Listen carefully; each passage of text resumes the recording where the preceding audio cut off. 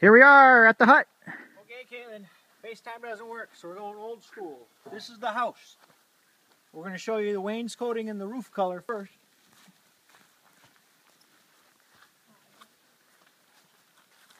This is the old roof, which is the wainscoting. We got the brown roof, so it doesn't look bad for the neighbors. And then I was trying to put the door here, but currently the door is here. Come in.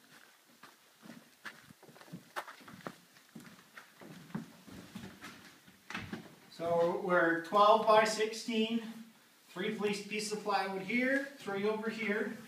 The uh, loft is the same. We moved it over to this side, um, which is nice. So if we set up a couch here, I'm going to come over here and show what it looks like.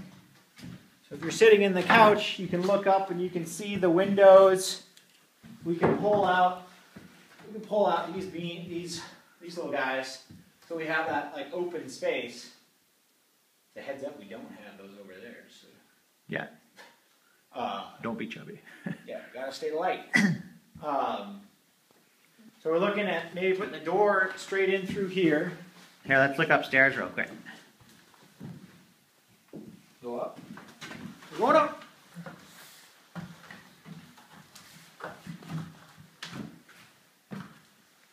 Come with. I'm coming with. You weren't so slow. So, show me where you would sleep. To the loft. This is the sleeping spot. Show, show how you would sleep. Lie down. Give her that work. We got right now. We have a big hole right here where the stove would come out. We're gonna see if we can poke it out a little bit lower. So we'll set the beds up here. And toss all of our clothes down in the bottom there. Here. I don't know how we'll do that. Then we've got storage, additional storage over where Chad is. You can sleep there if you need to. Hopefully we can put windows in over there. So we have that. We have two windows here. And it looks pretty nice. Not that nice of a day out. But you can see outside, which is cool. You see the Lucky Jim? Eh, you can't see the mountain. So, again, this will be down. Those are what the windows look like from Tara and Simon. We're going to have to hinge the top of them because it's just the sash. Um, but they look pretty nice. They got aluminum clad on the outside.